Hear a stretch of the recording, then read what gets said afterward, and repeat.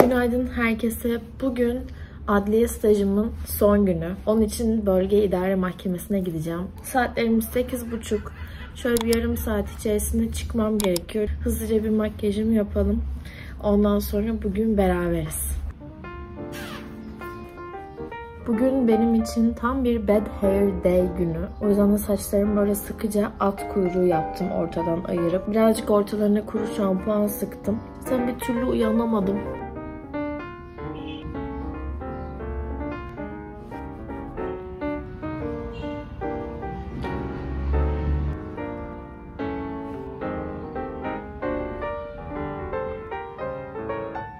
Ve Sensational bugün bizlerle.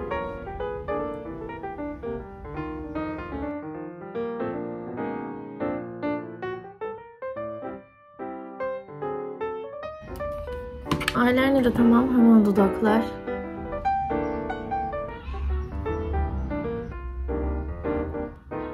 Hazırlandım. Makyajımın son hali bu. Böyle parlayan bir cilt. Size kombinini de göstereyim sonra hemen çıkalım. Böyle yargıcıdan kısa kollu bir gömlek giyiyorum. Mango çantam. Bunu gerçekten çok seviyorum. Çok da zarif duruyor. Hem de mesela altın küpelerim var. Onunla da güzel bir uyum sağladığına inanıyorum. Ve son olarak da altımda Adax bir pantolon var. Bu da en sevdiğim, en kurtarıcı bulduğum parçalarımdan bir tanesi. Hadi koşa koşa gidelim.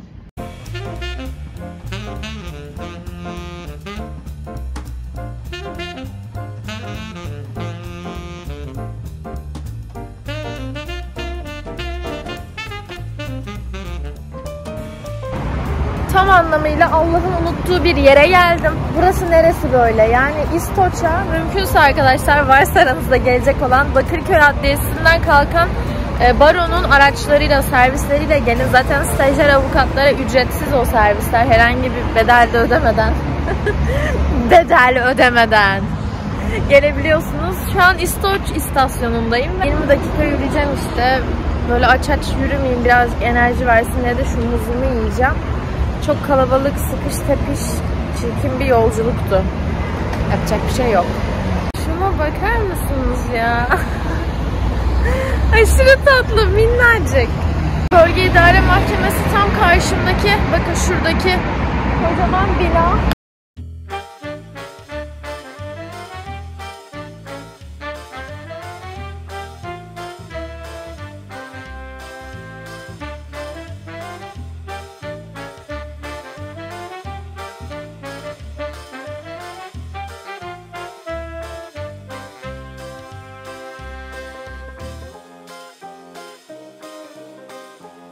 Keşke güneş gözlüğümü almayı unutmasaydım. İnanılmaz bir şekilde gözlerim akıyor. Ya ben çoban mıyım? Buradan ben nasıl geçeceğim ya? Açtıkça karşıma yeni bir tepe çıkıyor. Buranın yoluna acaba ben ne zaman ulaşacağım vatandaş girişine? Sonunda geldim arkadaşlar. Selamünaleyküm Karabaş. Evet. Çıkalım merdivenleri. Az kaldı. Evet, ilerlemeyecek misin? Evet, dönmeyecek misin? Tam kapıya atar yaparken abi geldi ve dedi ki biz bunu elle döndürüyoruz kardeşim dedi. Ve benim için döndürdü kapıyı. Böyle gerçekten itekleyerek döndürdüm döner kapıyı. Bu staj günü böyle tuhaf anlarla başladı. Devam edelim.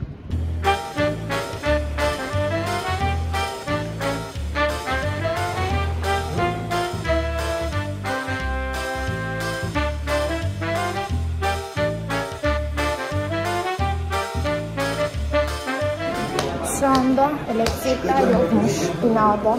Maceraya atıldık. Neredeydi ki? Birinci idare mahkemesindeydi benim stajım. Aa burası iki idare mahkemesi başkanlığı. Bakın bulduk. Birinci idare mahkemesi başkanlığı. Şimdi buradan staj çizelgemi imzalayacağım. Sonra da komisyona ineceğim. İşlemleri halledelim. Evet, imzalarımı attım. Tane kafeterya buldum. Adliyenin içinde belki buraya geçip otururum. Bu benim birinci idare mahkemesindeki stajımın son günüydü. O yüzden de hani eksiksiz bir şekilde geldiğimi, verilen eğitimi eksiksiz bir şekilde aldığımı onaylamaları gerekiyor imza atarak. Başkanın gelmesini bekliyoruz şu anda. Sonra aşağıdaki, şurada aşağıda bir tane komisyon var. O komisyona gidip orada imzalatacağım. Sonra bana bir zarf verecekler. O zarfla benim asıl adliyem olan Bakırköy Adliyesi'ne gidip oradaki staj komisyonuna vereceğim onu. Bir de yatırılması gereken 132 lira harç var. Bundan sonraki aşamada da artık benim avukat yanındaki stajım başlayacak. Böyle bir kafeterya buldum. Gelin oturalım. Böyle yemeği yemeye geldim. Gece gelin çorba yiyorum bugün.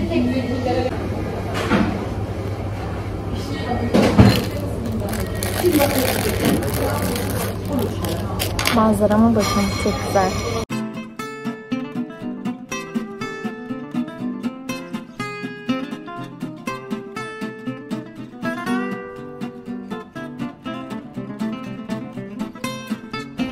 Evet aldım. Mührü bastık. Başkana da onaylattık. Şimdi ben burada staj komisyona geri iniyorum. Yemeğimi de yedim. Karnım da doydu. Çok mutluyum. Bu binaya ilk geldiğimde A blok var, B blok var. Blokların arasında D'ler, C'ler var. Bak mesela şurası D. Kayboldum koskoca binada. Böyle bir bina. Neyse en sonunda bulmuştum. Ama bu sefer çok kolay buldum çünkü ilk atmış. Hemen soru sora. En önemli şey sormak. Arkadaşlar çok tatlı bir şey oldu az önce. Baron'un Soç'tan buraya Bakırköy Adliyesi'ne gelecek olan servislere bindim. Bir baktım e, Aysun. Orada tanıştık. Aynı okuldaymışız meğer. O da İstanbul Hukuk mezunuymuş. İşte dedi ben seni internetten tanıyorum dedi. Biner binmez. İndikten sonra böyle adliyenin önünde bir sohbet ettik. Aşırı mutlu oldum. Aysun sana kocaman sevgiler ve öpücükler gönderiyorum. Şimdi Bakırköy Adalet Sarayı'na geldim. Bakırköy Adliyesi. İçeri gireceğiz. Sonra şu zarfı, zarfımı da aldım onu göstermeyi unuttum size. Zarfımı teslim edeceğim ve stajımı tamamlamış olacağım. Girişler buradan oluyor. Avukat kartınızla böyle okutuyorsunuz dıt diye. Ondan sonra isminiz gözüküyor ve geçiş yapabiliyorsunuz.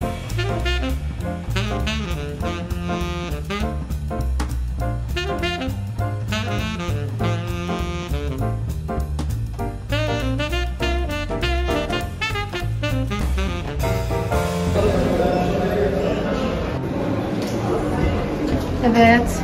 6. katta staj büro var. Oo, asansörde tek başımayım arkadaşlar. Bulunmaz bir nimet. Şimdi staj komisyonuna gidiyoruz. Şunu verelim. Adliyelerde sürekli kaybolmak gibi bir huyum var. Çok karışık yerleri. Ha bir dakika komisyon bürosu sanırım şu taraftaydı. Şöyle ilerleyeceğim. Sonra dönüş yapacağım. Burada hep Cumhuriyet savcılarının odaları var. Ama işte hani çekim yapamıyorum.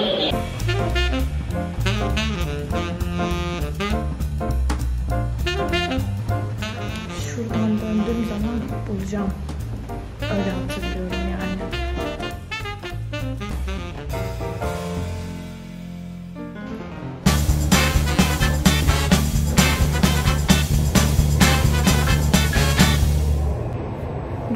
Adliyesi'nde değil aslında. Ben Çağlayan Adliyesi'nde stajyer avukat olmak istiyordum ama yani çok hızlı davranmanız gerekiyor. Yoksa yer kalmıyor. Kontenjanları var adliyelerin. Normalde Bakırköy Adliyesi yani burası benim evime bayağı uzak. O yüzden de kolay olmuyor gidip gelmek.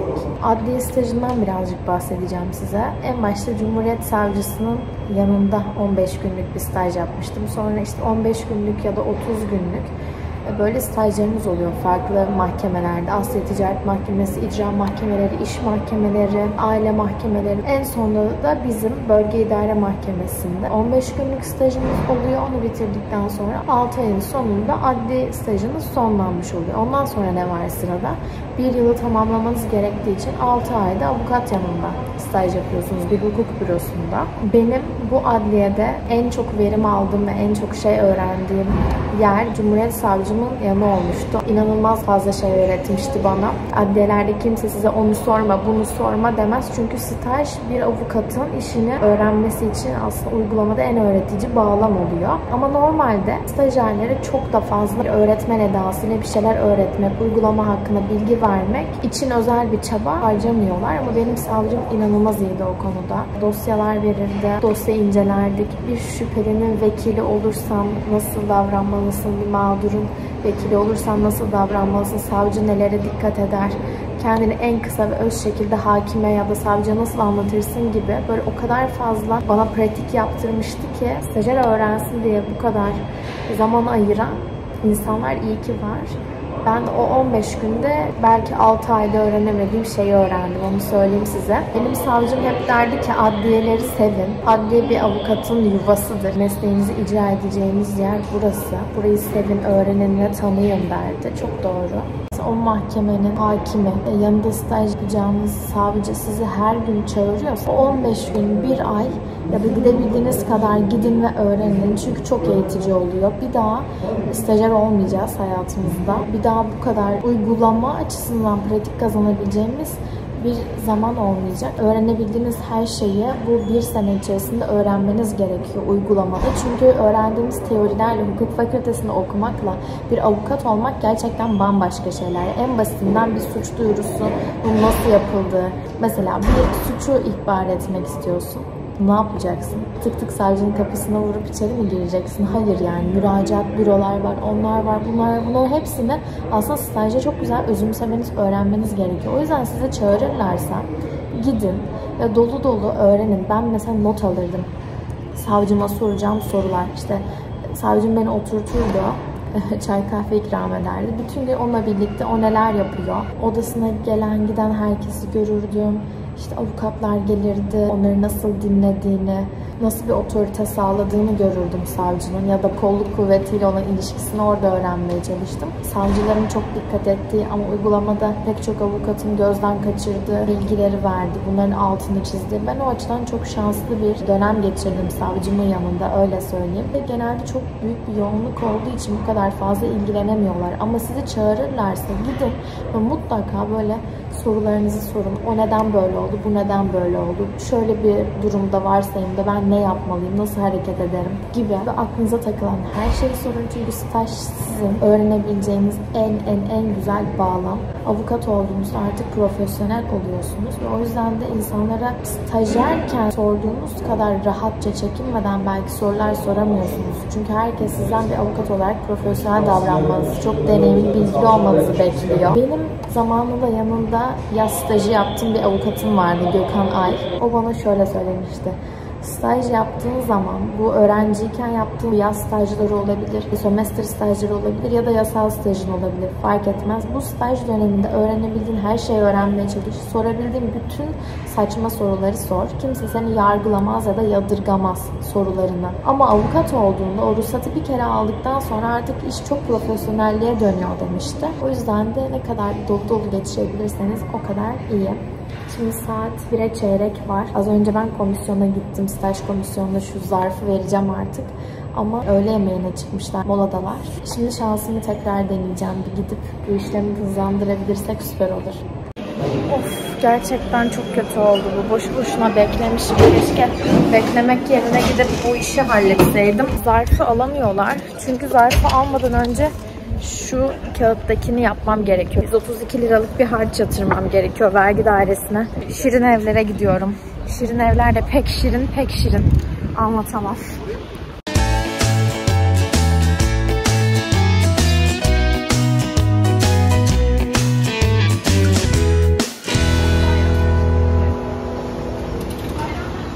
Yoruldum ve susadım arkadaşlar.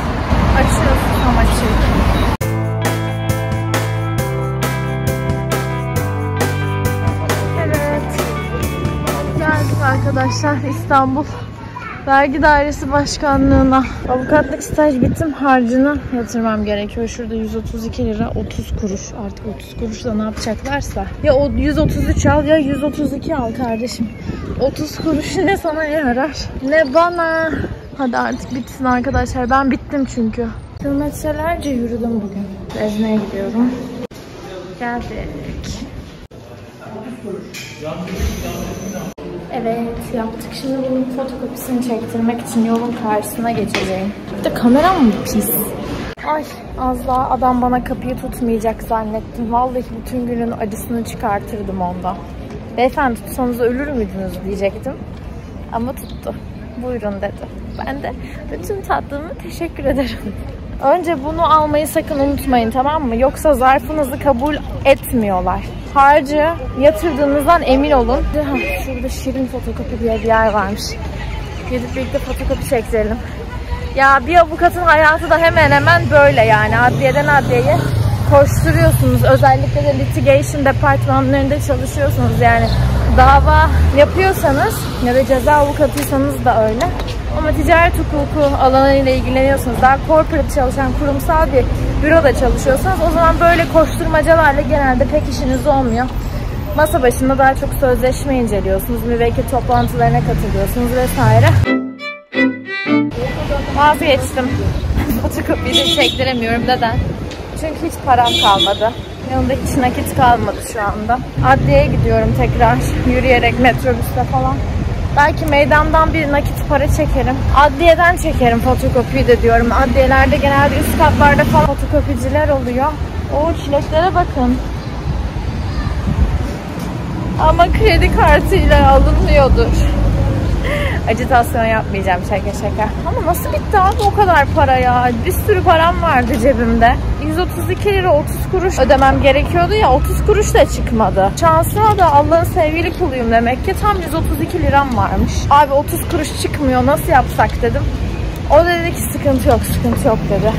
Öyle. Anam. Arkadaşlar arabaya bakın. Ben de bundan istiyorum büyüyünce. Şimdi kamerayı kaldırıp konuşuyorum ya insanlar çok tuhaf bir şey onlar için. Tavus kuşu görmüş gibi bakıyorlar yani. Alıştım artık ben bu duruma. Yapacak bir şey yok. Paramın neden bu kadar hızlı bittiğini buldum arkadaşlar. İki tane sebep var. Birincisi ülkenin hali hazırda içinde bulunduğu ekonomik kriz ve buhran. Bir diğer sebep de tane otomat vardı. Su almaya çalışıyordum. 10 liramı yuttu makine. Tam uğraşacaktım paramı geri almak için. Metro geldi. Metroyu kaçırmayayım diye 10 liradan oldu. Saçma sapan işler ya. Zaten sabah çok tuhaf başladı gün. Kirazlı'ya gidiyordum. Kirazlı şeyi Evet. Araç bozuldu sabah. Bütün yolcuları indirip yandaki vagona aldılar böyle. İki hat... Arkadaşlar konuşamıyorum yorgunluktan. Boş verin. Buraya kadar gelmişken size birazcık İstanbul trafiğini izlettirmesem olmaz.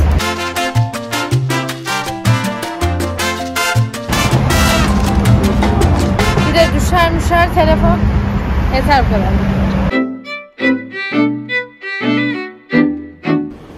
Evet, başardım. Mazbatamı alacağım yarın gelip. Teslim etmem gerekenleri teslim ettim. Da eve dönebilirim ama dönmeden önce bir savcıma uğramak istiyorum. Hazır buradayken. Savcım nasılsınız diye bir halini hatırını sormak istiyorum. Çok içimden geldi.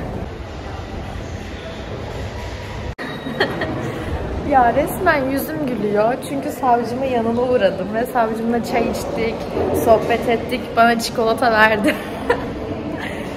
Gerçekten ya. Çok şanslıyım bu konuda. Arkadaşlar bakın. Allah karşınıza hep böyle çok güzel insanlar çıkarsın. Çok iyi kalpli, çok temiz insanlar çıkarsın. Nazar değmesin. Benim öyle gidiyor. Hani şunu da söyleyeyim. Yaptığınız stajlarda network edinin. İnsanlarla tanışın. İnsanlara iyi yönlerinizi gösterin. Avukatlık tamamen iletişim odaklı bir meslek. Ne kadar iletişim, bu kadar iyi. Bu tip ne ya? Nereye gidiyorsunuz? Nereye gidiyorsunuz beyefendi? Artık eve gidiyorum arkadaşlar. Çok çok çok fazla yoruldum. Yarın da mazbatamı alıp Taksim'de İstanbul Barosu'na götürmem gerekiyor. Böyle koşuşturmacalı çok yoğun bir gün oldu. Buradan eve döneceğim. Birazcık edit yapacağım. Vlog editleyeceğim sizin için. Öyle. Görüşürüz evde. Eve dönerken Alperen'le konuştum da Alperen şeydeymiş, karakoldaymış. Böyle söyleyince sanki tutuklandım gibi oluyor da. Karakolda da sanırım ifade almaya gitmiş. Kendisi ceza avukatı biliyorsunuz. Cevahir'e gideceğim. Cevahir'de oturacağım. Bir kahve falan içeceğim. Alperem de işi bittiğinde benim yanıma gelecek ama acayip yorgunum şu an var ya ayaklarımın tabanları acıyor yani. O enerjik denizden eser yok şimdi dediğinizi duyar gibiyim. Gerçekten vlogu editlerken kendim izlediğimde bile dedim ki ne kadar fazla yorulmuş. Bitik denizi gördünüz yani az önce. Böyle yorucu geçiyor adliye stajları ama gerçekten de kıymetli. Vlogda söyleyemediğim bir iki husus var onları eklemek istiyorum. Siz ne kadar talep ederseniz, ne kadar öğrenmeye açsanız ve buna motiveyseniz o kadar fazla verim alırsınız bu stajlardan. Gelip hiç soru sormadan, hiç ilgilenmeden eminim giden de birçok stajyer arkadaş var. Ama siz öyle yapmazsanız sistemde tabii ki pek çok aksaklık var. Gerçekten her şey dört dörtlük ve mükemmel değil. Stajyerlerin zorlandığı pek çok kötü noktası var uygulamanın. Ama kendinize bütün bu kötülükler arasında iyi birkaç şey katabilmek için uğraşırsanız o zaman çok verimli bir staj dönemi geçirirsiniz. Ben sadece bunu tavsiye etmeye çalıştım size. Umarım faydalı bir vlog olmuştur. Yani aslında bir günümü anlattım. Çok da böyle tavsiyeler verdiğim ve uzun uzun konuşmak istediğim bir video değildi. Onun için belki sorularınız varsa ileride Instagram'dan şuraya bırakıyorum adresimi. Bir soru cevap yaparız. Ve tamamen staja odaklı bir soru cevap videosu çekerim. Bu bir vlog tadındaydı. Beğendiyseniz beğenmeyi unutmayın. Hala abone değilseniz ama videolarımı severek izliyorsanız, enerjimi beğeniyorsanız abone olmayı da unutmayın. Yorumlarda buluşalım. Hepinizi kocaman öpüyorum. Bir sonraki videoya kadar esen kalın.